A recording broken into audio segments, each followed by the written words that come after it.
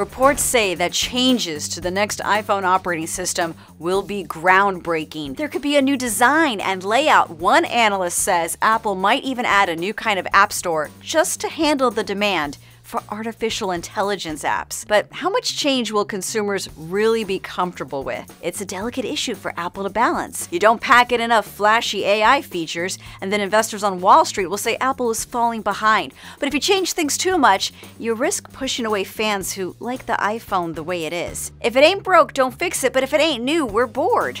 iOS 18 is expected to be revealed in June at WWDC. So let's go over what we're hearing so far with changes to the iPhone iPhone software.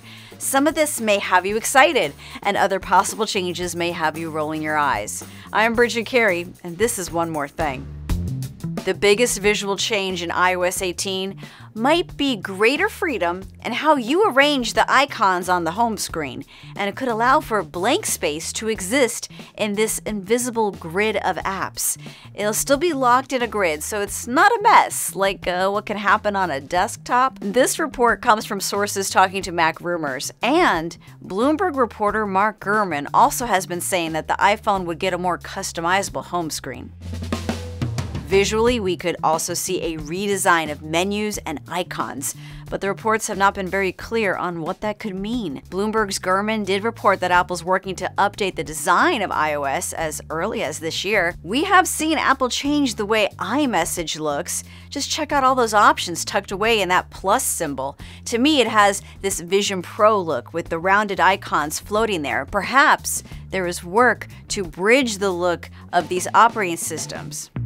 Generative AI is the biggest buzz right now, and I've exhausted myself talking about what could AI do on an iPhone. So if you want to dig in deeper on what's possible, just go watch my other videos on that. But Apple is said to be planning to use AI in a few ways. Reports point to Apple talking to other companies like Google and OpenAI to see if there are ways that the companies can work together.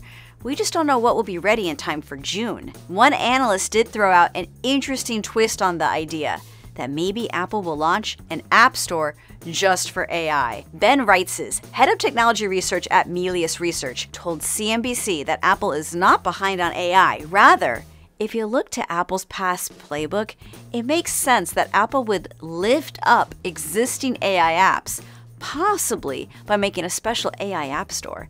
That way, the iPhone can take advantage of AI even if Apple doesn't have its own AI chatbot app ready, so to speak.